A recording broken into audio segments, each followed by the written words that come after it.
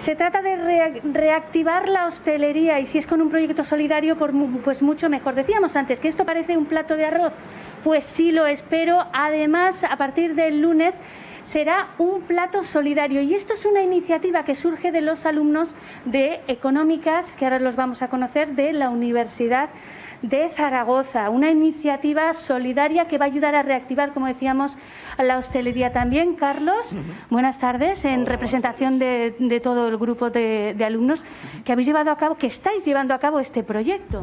Sí, así es. Eh, viendo la dificultad en la situación actual por la crisis del COVID, ya sea por aquellos que han perdido su empleo como por aquellos sectores que se han visto muy perjudicados, entre el- ellos la restauración, pues decidimos intentar aportar y ayudar lo máximo posible, ya que eh, si bien nosotros somos afortunados, podemos hacer algo más por esta. Por esta... Come por una causa justa. Pide tu plato solidario que eh, 20 céntimos de estos platos de todos los restaurantes irán destinados al comedor San Antonio. Efectivamente, los platos, cada restaurante ha elegido los suyos propios, los que más, con más amor y más placer hacen, y simplemente tienen un pequeño recargo de 20 céntimos que se destina al comedor social, ya que, por desgracia, a día de hoy eh, muchas personas están teniendo que recurrir a estos servicios porque se han quedado sin empleo. Entonces, al no tener ingresos, pues eh, una de las mejores ayudas que pueden recibir es ir a estos centros sociales.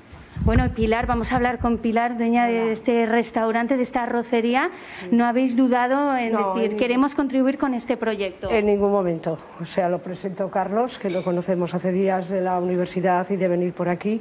Y la verdad es que en ningún momento, en cuanto me lo presentó, le dije, sí, sí, lo que haga falta, no hay problemas. Además, es una ayuda para que nosotros también nos veamos con todo este problema del COVID. Pero Va a durar una semana. ¿Y cuál es vuestro plato que hemos estado diciendo ahí? Es un arroz, pero no es un arroz, es un plato solidario. ¿Pero cuál es? El, el que está, que está sacado es un meloso de boletos y pato.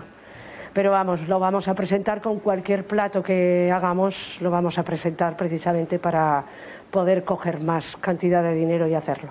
Son 20 céntimos. Sí, por 20 cada céntimos una- que se suman a ese ración, plato sí. Por cada ración Por que cada va. ración y por cada cosa que vendamos aquí daremos los 20 céntimos nosotros.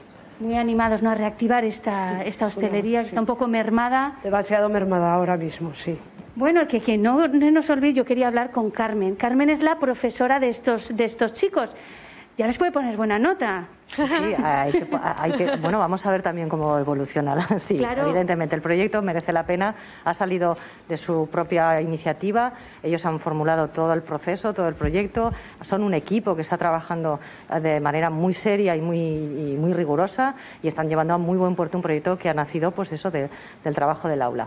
Pero igual que están ellos, hay otros 12 grupos que están haciendo también proyectos a lo largo de la ciudad y otros también de forma virtual, dadas las circunstancias, porque en la asignatura lo que trabajamos es la dirección de entidades de economía social.